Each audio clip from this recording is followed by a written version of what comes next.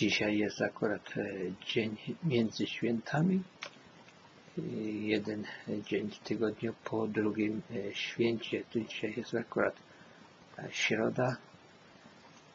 W całej Kanadzie akurat teraz zrobiła się bardzo mroźna i śnieżna zima. W większości Kanady, w większości centrum Kanady i na wschodzie e, są bardzo duże śniegi i mrozy, jak już dawno takich e, nie było. A u nas e, widzicie, tak wygląda pogoda niezbyt ciekawa, ale lepsza niż by był mróz i śnieg. Jest deszczowo, bardzo mglisto, jak widzicie.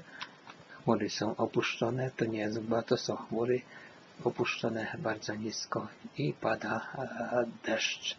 Nieraz troszkę ze śniegiem, jak tu widać na poboczach. Tu akurat w tej chwili nie, bo wjeżdżam na most, ale na poboczach troszkę śniegu, bardzo mało, może z centymetr albo nawet nie leży, bo to no, jeszcze przed świętami troszkę e, e, popadało śniegiem, ale mrozów u nas nie ma.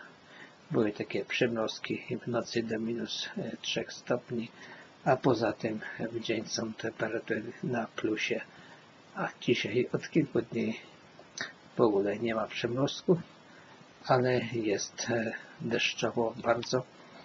No, taka pogoda niemiła, jak widzicie. E, Deszcz pada, bo takie wycieraczki chodzą. Dlatego chcę Wam też pokazać, że tutaj nie tylko Vancouver jest piękna pogoda. Piękna pogoda jest nieraz oczywiście w większości latem, ale zima jest raczej deszczowa i taka pogoda, jak widzicie, e, dość często tutaj e, się zdarzają, ale lepsze to od śniegu i mrozu. Chociaż zdarzają się też i w czasie zimy bardzo e, ładne dni, bezchmurne i wtedy jest dość taka mroźna atmosfera, temperatura blisko zera, 2 stopnie e, czy 0, a w nocy nawet i do minus 5 stopni nieraz, ale to rzadko się zdarza, przeważnie blisko zera. Ale mówię, e, w całej Kanadzie jest bardzo mroźnie, przynajmniej w tym roku teraz, gdzie temperatury nawet dochodzą do minus 40 stopni mrozu, dlatego nie możemy e, tutaj narzekać w Vancouverze, że akurat e, taka pogoda jest, bo jest, to jest najcieplejsze miejsce e, w Kanadzie. Temperatury są plusowe. Także ja, dla mnie ten deszcz w ogóle nie przeszkadza. Oczywiście, że chciałbym lepszą, słoneczną pogodę, ale no niestety w zimowej porze muszę to zaakceptować, bo innej rady nie ma.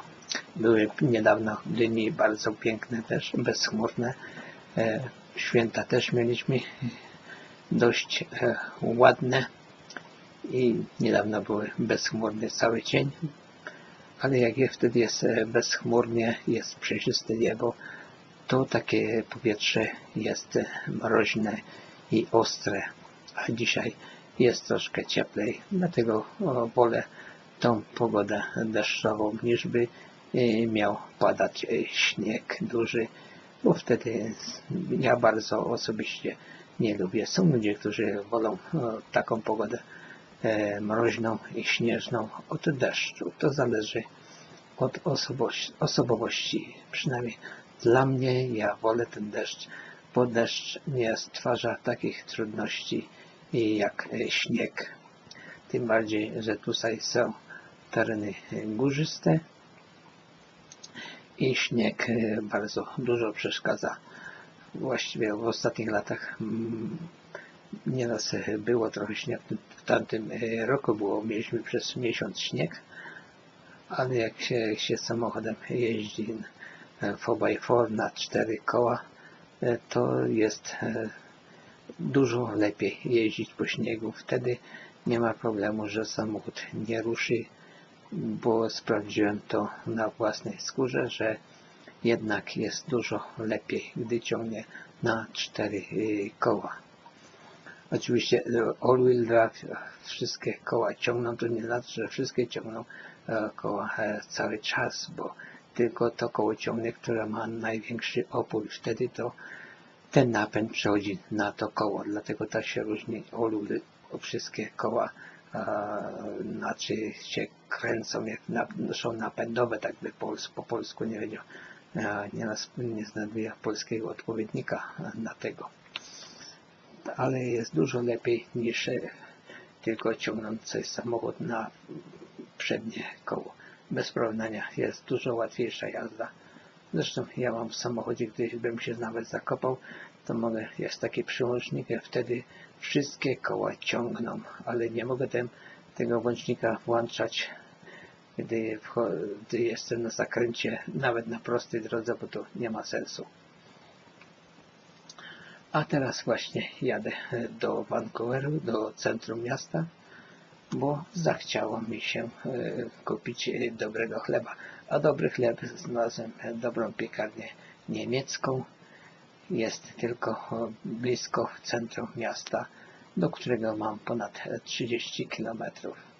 Ale tak jak kiedyś mówiłem, nie zwracam uwagi na to, jak daleko po prostu ja jadę nie zwracam uwagi, e, że to dużo ile benzyny spalę, bo mnie to nie interesuje kompletnie. Po prostu benzyna nie jest tu taka droga, żeby zwracać na to uwagę.